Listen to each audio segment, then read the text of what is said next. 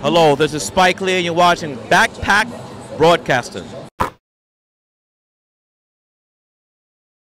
Amar'e Stoudemire returned to New York Knicks practice on Monday and was happy to be around his teammates as they prepared for Tuesday night's game with the Toronto Raptors.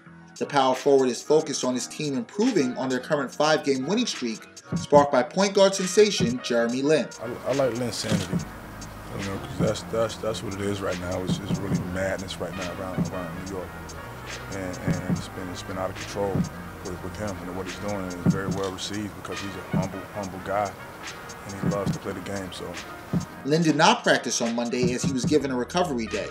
However, the New York starting point guard spoke about the opportunity to recharge his batteries and its effect on the team. Getting away for a day, resting my body, and uh, I think there's like a fresh energy with everybody, especially with Amar, uh, Amar'e and Melo back. I mean, obviously Melo's still working through stuff, but he's back with the team. The same with uh, Amar'e. While Linsanity has been infectious for the Knickerbockers, questions have arose as to how Stoudemire and Carmelo Anthony will fit in once they return to the court.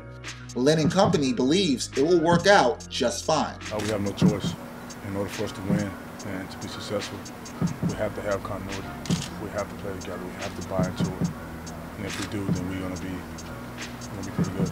having a point guard puts him back in where his comfort zone. His comfort zone is pick and roll. His comfort zone is getting fed for dunks, and uh, so that should help him. It should help everybody. The key for us is to take everyone's strengths and to, to, to maximize them and uh, make us a team. And um, you know, our coaching staff is is, is great, and they the, the amount of film work and the studying that they do, that we're gonna we're gonna be just fine. We're gonna find a way to get people the spots, to get everyone the number of touches that they need, and we'll make adjustments. And we may, you know, struggle at times, but we're okay with that. People question, can I fit in? I don't really know where that's coming from.